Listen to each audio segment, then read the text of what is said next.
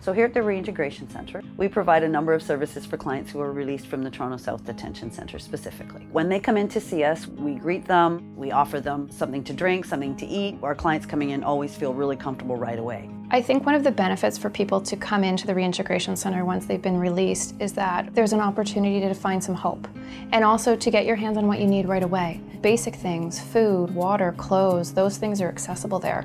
Once you are released from incarceration, you're reeling from all the changes in your life. Our centre has a grasp on a lot of the challenges that are being faced, so we want people to know that our centre is open to help you.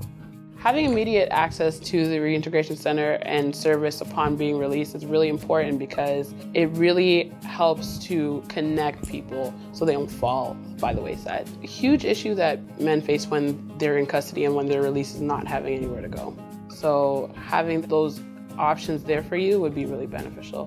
When I was incarcerated, I met people from all different walks of life. They're people. They've just made a mistake. At least there's this building that they can come to. And we have signs that direct them right to us. So we're here. We can help them out. They're very grateful for the services that we offer them and just for us being here and having honest conversations with them and not judging them when they walk through those doors. They're also sometimes a little bit scared and they're anxious. There are no immediate services in this area that will help these guys with a warm and safe transition. So the fact that when they come in here and they get such a warm greeting, they're very, very grateful. The benefit to having all different services available here at the Reintegration Centre right on site is the immediate accessibility to those services.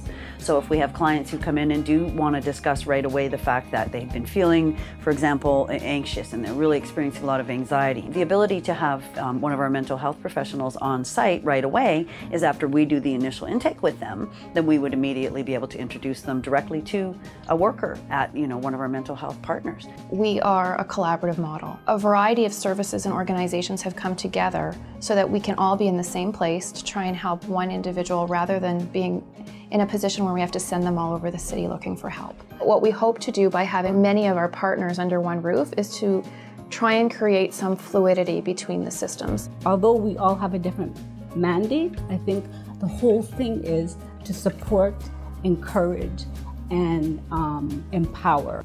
And you know, getting a new set of clothes, having somebody ask you, what would you like? That's the beginning of a process of recovery, I believe.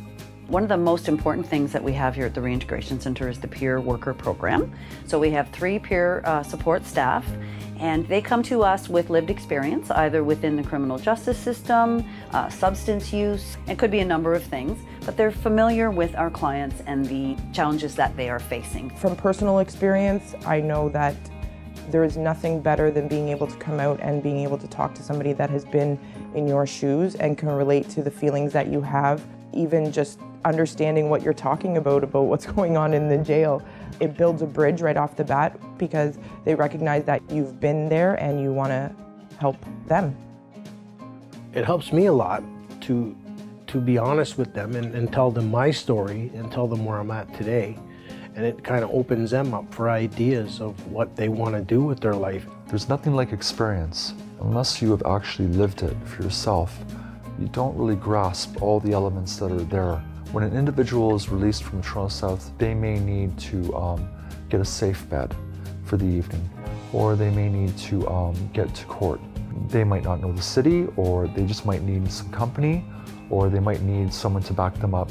We ensure that that individual gets to their destination safely, so we kind of seal the deal with an accompaniment.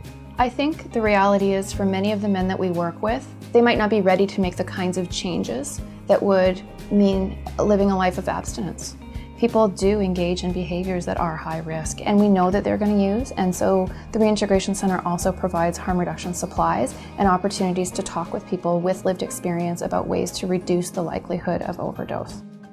We want them to make sure that they're careful and considerate when they start using again. If they're going to start using again, to take their time and move back into it slowly, not to, you know, possibly jump right in and use the same amount of substances maybe that they were using when they get in, because the risk of overdose is significantly higher because they have been away from it for a while. So we always have that conversation with them just to let them know to be aware of that.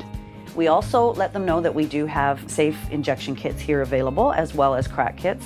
So safer use is something that we try and promote. We recognize the fact that every client is at their own stage when they're getting released. Some of them aren't ready to quit, some of them don't want to quit using drugs, and we don't judge them on that. We actually just meet them where they're at and they know that they can come in here, they can ask for what they need.